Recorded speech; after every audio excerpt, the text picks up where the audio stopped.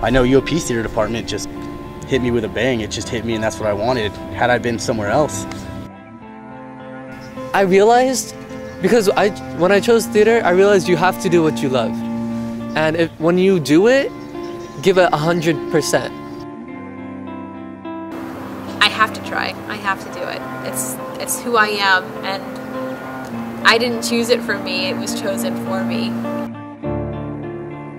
I just I fell in love with theater.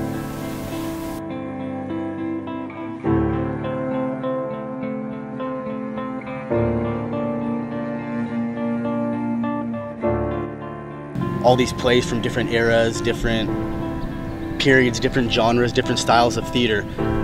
And every single play we read, I'm always just like, I want to be in that play. I want to direct that play. I want to write something like that. You know what I mean? And every time I read something or watch something or do something involved with theater or film, it's just, I realize how passionate about it I am, how much I love it. I like I like working with my fellow students.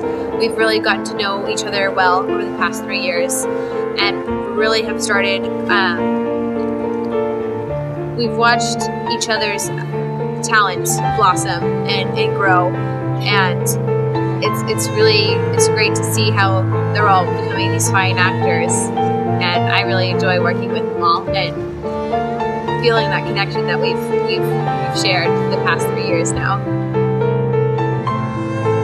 and enjoy themselves because it's what we, we do and what we like doing is we like enjoying ourselves on stage.